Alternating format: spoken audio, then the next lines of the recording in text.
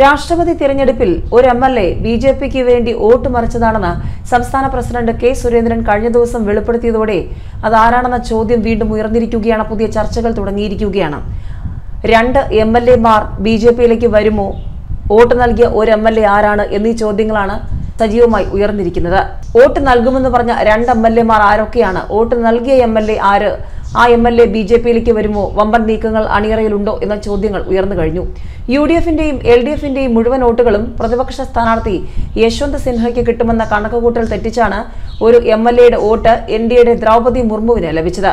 B J P കേന്ദ്ര നേതൃത്വമടക്കം ഇറങ്ങിക്കളിച്ച് നേടിയതാണ് ആ വോട്ടെന്നാണ് K Surendran പ്രമുഖ മാധ്യമത്തിലൂടെ വെളിപ്പെടുത്തിയത്. പിന്തുണയ്ക്കാൻ രണ്ടുപേർ തയ്യാറായെന്നും ഒരാൾ ഒടുവിൽ പിൻവാങ്ങിയെന്നുമാണ് ബി ജെ പി പ്രസിഡന്റ് അവകാശപ്പെട്ടത്. യു ഡി എഫിന്റെയും എൽ ഡി എഫിന്റെയും ഓരോ എം എൽ എമാരാണ് ബി ജെ പിക്ക് കൈകൊടുക്കാൻ തയ്യാറായത് എന്നാണ് സൂചന. ഇവർ സി പി എമ്മിലോ കോൺഗ്രസിലോ പെട്ടവരല്ല ഘടകകക്ഷി പ്രതിനിധികളാണ്. യു ഡി എഫിന്റെ ഭാഗമായ എം എൽ എ വോട്ട് ചെയ്യുകയും L D F M L A പിൻവാങ്ങുകയും ചെയ്തുവെന്നാണ് ബി ജെ പി കേന്ദ്രങ്ങൾ സൂചിപ്പിക്കുന്നത്.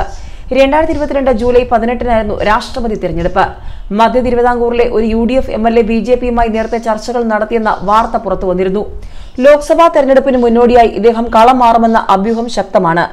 എൽ ഡി എഫിന്റെ വനിതാ എം എൽ എയെ വലയിൽ വീഴ്ത്താൻ ബി ജെ പി ചില ശ്രമങ്ങൾ നടത്തിയിരുന്നു. ഒരു ഘട്ടം കഴിഞ്ഞപ്പോൾ ആ ചർച്ച മുന്നോട്ടു പോയില്ല. രാഷ്ട്രപതി തെരഞ്ഞെടുപ്പിൽ ബി ജെ പി സമീപിച്ചത് അവരെയല്ല എന്നാണ് അറിയുന്നത്. കേരള കോൺഗ്രസിന്റെ ഒരു മുൻ എംപിയെ ബി ജെ പിയിലേക്ക് കൊണ്ടുവരാൻ പാർട്ടി ശ്രമിച്ചെങ്കിലും വാഗ്ദാനങ്ങൾ അദ്ദേഹം കൈയോടെ തള്ളി. അതുകൊണ്ട് കൂടിയാണ് ജോണി നെല്ലൂരും വി വി അഗസ്റ്റിനും മറ്റും ചേർന്ന് രൂപീകരിച്ച പാർട്ടിയോട് കാര്യമായ ആഭിമുഖ്യം ബി ജെ പി കാണിക്കാത്തതും.